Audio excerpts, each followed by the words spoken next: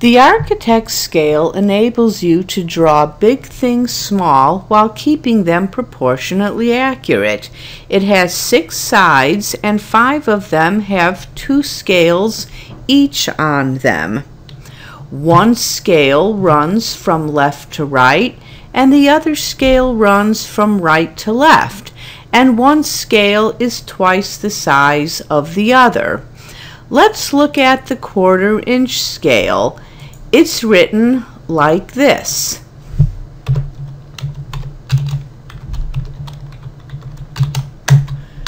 One quarter inch equals one foot.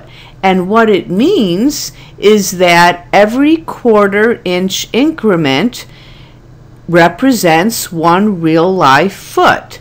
So to draw a line that is five feet long at the quarter inch scale, you'd start at the zero and count one, two, three, four, five. And there is a line five feet long.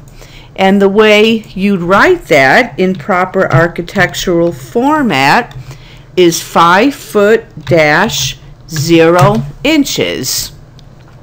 Now looking over here, at the eighth inch scale, you can see it's a lot smaller. So a five foot line starting at zero would go one, two, three, four, five. It would be that long.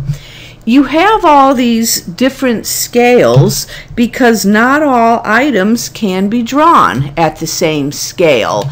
Large items like floor plans are typically drawn at a quarter of an inch or eighth inch scales so that they'll fit on the sheet. However, very intricate items such as door details or window details need to be drawn at a larger scale, such as three quarters of an inch equals a foot, so that they're legible. And three quarters of an inch scale would be written like this. So let's draw a line at three quarters of an inch. We'll draw it two feet long. So we start here, one at zero, one, two. And there's a line two feet long. Now what if we wanted to draw it six inches long, two feet six inches, or two foot three inches. Well, that is what the subdivided scale is for. Every scale has a bunch of marks to the left or right of the zero. Here's the subdivided scale for three quarters. Here it is for one half, one eighth. For three inches equals a foot. Every scale has it. From zero to the last line is always 12 inches. So if that's 12 inches, the line in the middle will be 6 inches. 1, 2, 3, 4, 5, 6, 7, 8, 9, 10, 11, 12. So to add 6 inches to this 2 foot line, we'd go from 0 to 6. And it would be written like this two foot dash six inches.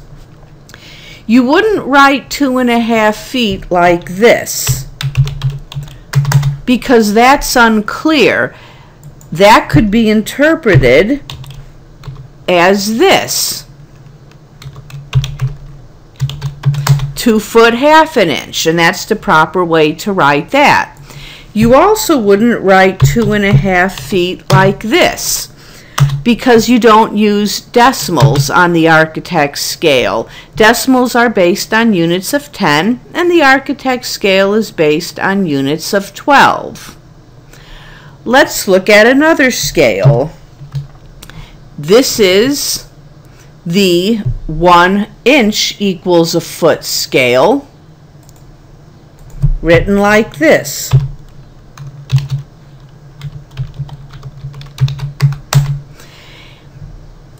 So to draw a line on it, that would be, say, three feet long, we start at the zero, one, two, three.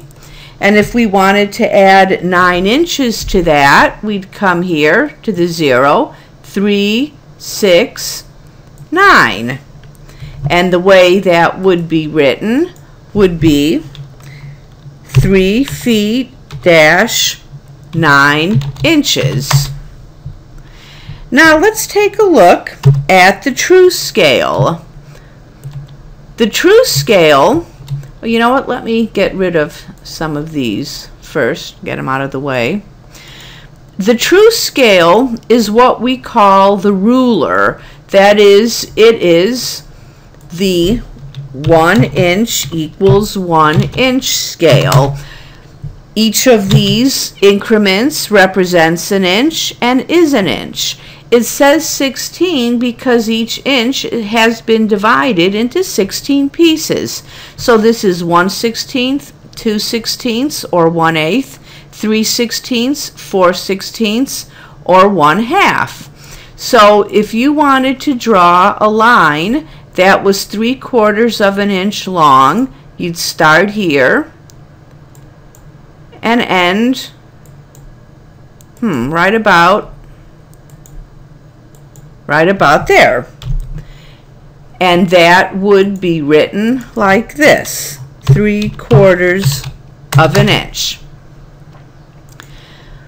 Now here's a tip for doing, for writing guidelines when you're lettering.